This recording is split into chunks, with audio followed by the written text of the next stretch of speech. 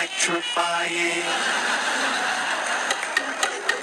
Infinite time.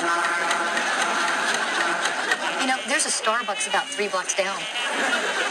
He's so inspired. Look at him. Look at him go.